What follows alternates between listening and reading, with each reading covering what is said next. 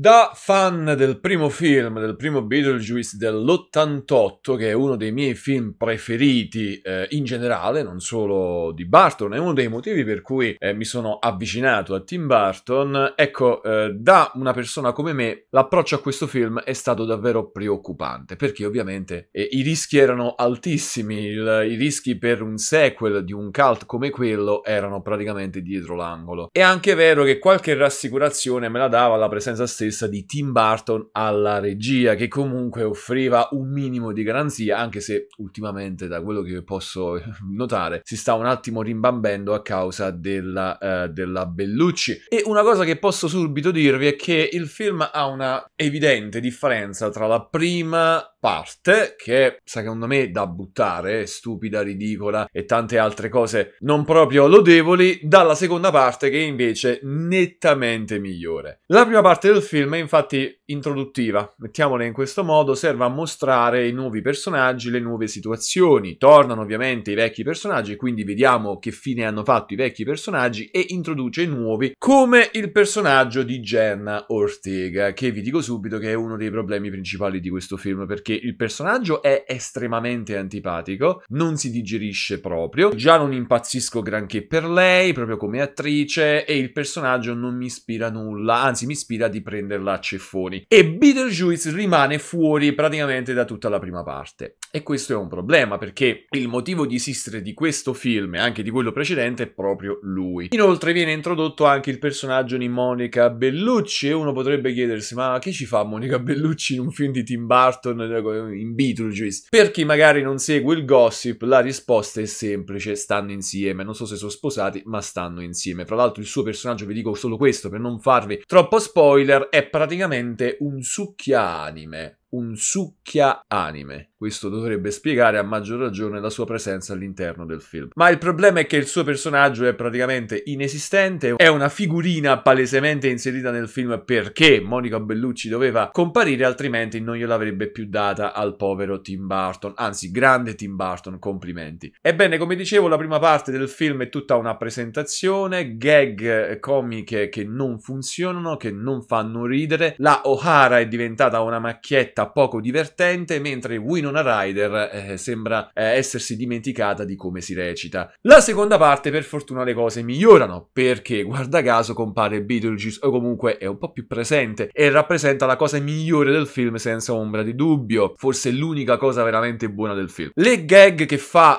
uh, Beetlejuice somigliano molto ovviamente a quelle del film dell'88, ma va bene così, alla fine il personaggio è quello, a me personalmente mi ha fatto divertire ogni volta che è comparso, quindi tutto a posto. Registicamente alcune scene sono sono effettivamente molto valide, eh, sono infuse dell'immaginario, della fantasia bartoniana e del suo stile. Quasi tutte le scene della seconda parte sono quindi eh, esteticamente gradevoli. Il problema però è che la trama viene portata avanti dal personaggio di eh, Jenna Ortega. Ora, la Ortega è bella e brava, tutto quello che volete voi, ma non sa recitare. Non mi dite niente, ma non sa recitare. Ha avuto successo perché? Per la viralità ovviamente della serie TV di mercoledì e perché ha questo fascino oscuro che comunque si eh, adatta molto bene a determinati tipi di personaggi, tipo appunto quello di mercoledì o anche in questo caso, ma è il personaggio a non essere interessante in questo caso, ma senza questo fascino eh, alt- verrebbe considerata probabilmente un'attrice mediocre, il suo personaggio come ho detto è antipatico, quindi non frega niente a nessuno ed è il personaggio che purtroppo porta avanti la trama nel, del film. Tra l'altro nel film lei è ancora una volta una teenager, ma eh, Jenna Ortega ha ormai 22 anni, probabilmente continuerà a interpretare teenager anche a 30 anni, anche se te lo dico con sincerità, ti, te li porti benissimo, però si inizia a vedere che non sei più una bambina, cara Jenna Ortega. Il finale, fra l'altro, è un po' strano, risulta poco conclusivo dal mio punto di vista, tant'è vero che io mi aspettavo una scena post-credit, e non solo io, infatti la maggior parte del, delle persone in sala sono rimaste in sala alla fine del film, perché ci aspettavamo qualcosa in più proprio perché non sembra conclusivo al 100%, quindi mi ha lasciato anche quello un attimino perplesso. Registicamente, secondo me è un punto positivo, perché il film è bello da vedere, basta Burton c'è e si vede, il fanservice ovviamente pure c'è, eh, alla grande c'è, però è normale anche perché questo è un sequel, quindi non è, non è un remake o un reboot, è un sequel, quindi è giusto che alcuni elementi ritornino dal film precedente. E quindi è un film a malapena sufficiente dal mio punto di vista, se consideriamo soprattutto la seconda parte, sotto la sufficienza se consideriamo invece soprattutto la prima, quindi dipende anche voi quanto rimanete impressionati dalle due parti. Sta di fatto che è sicuramente un film evitabile, questo è poco ma sicuro, fatto perché a Tim Burton gli andava e forse perché, che ne so, Monica Bellucci avrà detto senti voglio comparire in un altro film su un Beetlejuice e quindi lui ha detto ok vabbè facciamolo e quindi rimarrà come il sequel gradevole di quello che a mio parere è un grande film, il primo Beetlejuice ovviamente. Detto questo io ho finito, a presto, ciao!